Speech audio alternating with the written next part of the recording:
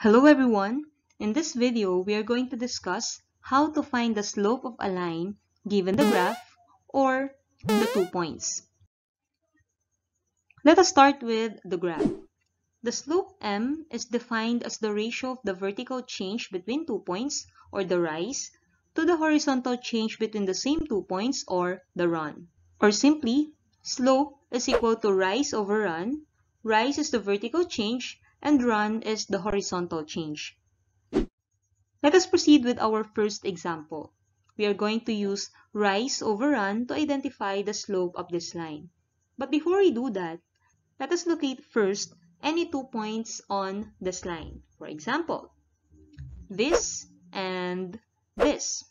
Then we may start counting the vertical change starting from the first point, which is this one, then we will count going upward since we are counting for the rise until we reach the coordinate of the second point. Let us start. 1, 2, 3, 4, 5. The vertical change is 5. Then, to count for the horizontal change, please take note that if the direction of the line is going to the right, the slope is positive. But if the direction of the line is going to the left, the slope will be negative. But since the direction of this line is going to the right, then therefore, the slope is positive. Let us count the run. 1, 2. So, the denominator of this slope is 2. Therefore, the slope of this given line is 5 over 2.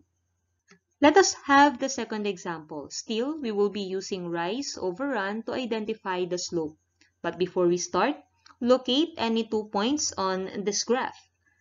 Let us use these points. Then, count the vertical change or the rise. 1, 2, 3, 4, 5, 6. The denominator of this slope is 6. Then, count the run 1, 2. And as you can see, the direction of this line is going to the left. Therefore, the slope will be negative. And the horizontal change again is 2. So the slope of this given line is negative 6 over 2, which is equal to negative 3. Third example. Again, identify any two points on this given line. 1, 2. And then count the rise and the run. Let us count the rise. 1, 2, 3. So 3 is the denominator of our slope.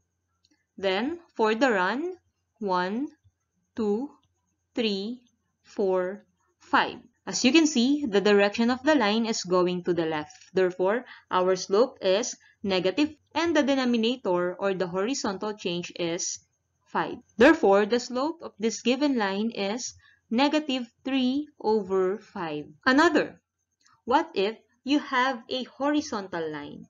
Since the given line is horizontal, then it means you have no vertical change. So 0 for our numerator. And then, whatever the horizontal change will be for the horizontal line, automatically the slope will be equal to 0 you do not have to count the rise and the run. If the line is horizontal, automatically, the slope will be 0. Do not forget that. Another, what if the line is vertical? Whatever the value of the vertical change in this given line, since there is no horizontal change, automatically the denominator will be 0. And in mathematics, if you have a denominator of 0, the number is undefined. Therefore, the slope of this given line is undefined. Again, if the line is vertical, the slope automatically is undefined. Let us now proceed in finding the slope of a line given two points.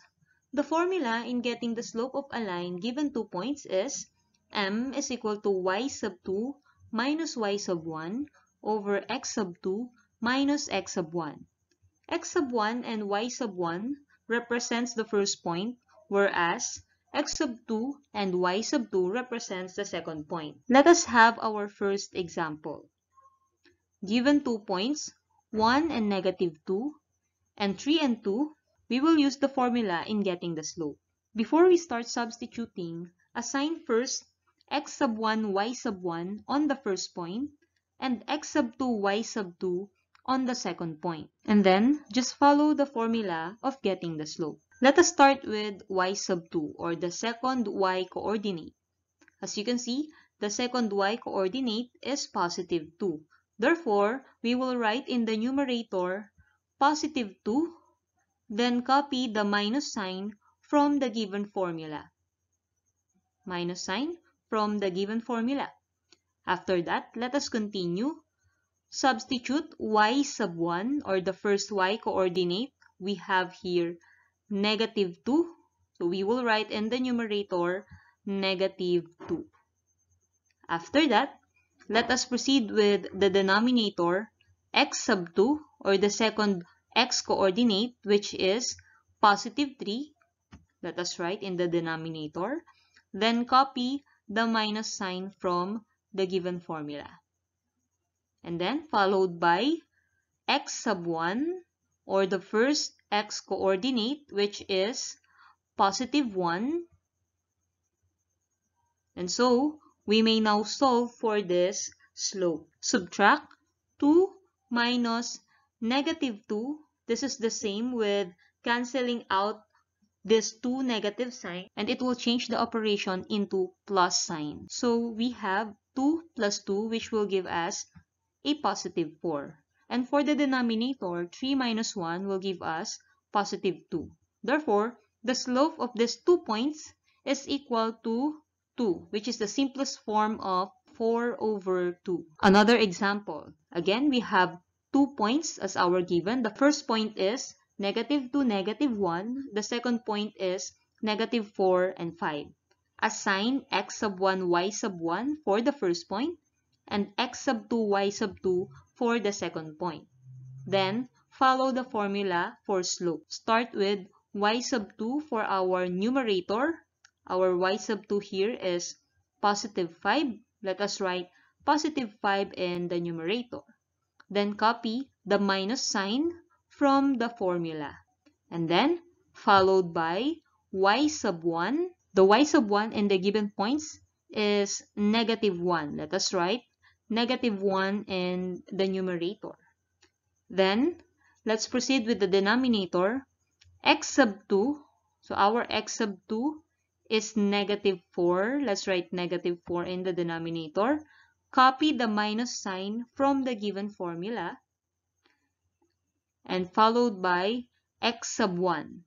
x sub 1 here is negative 2. Let us write in the denominator, negative 2. After that, you may solve. Again, we have two negative sign here. We may cancel them. Then add the numbers. 5 plus 1 will give us positive 6. Same with the denominator. Let us cancel out the two negative sign and it will become plus. So we have negative 4 plus 2. So you have to subtract since they have different sign. 4 minus 2 is 2 and copy the sign of the larger number which is negative. So we have negative 2. Then after that, simplify. 6 divided by 2 will give us 3 and copy the sign of the denominator. So the slope of these two given points is negative 3. Third example. Again, we have these two points. Assign x sub 1, y sub 1 for 2 and 1. Then x sub 2, y sub 2 for 0, 4. Following the formula, we will start with y sub 2. So we'll have positive 4 in the numerator. Then copy again the minus sign from the formula.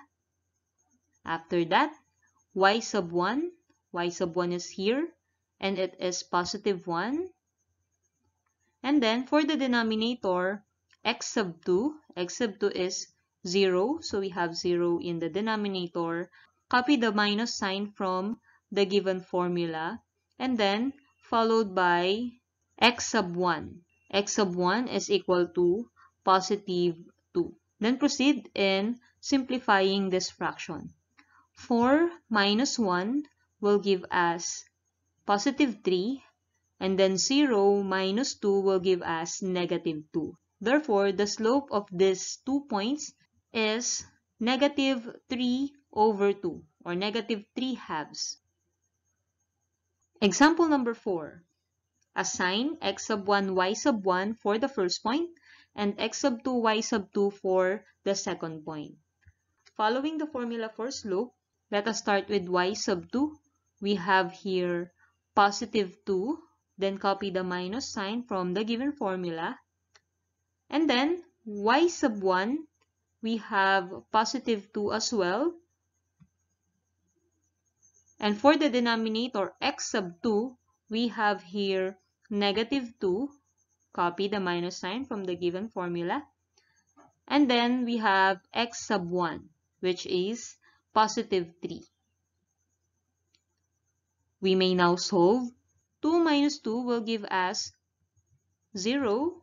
Then negative 2 minus 3 will give us negative 5. And since this fraction has a numerator of 0, therefore, the slope of this given two points is equal to 0. It means that when you graph the line of these two points, the line will be horizontal.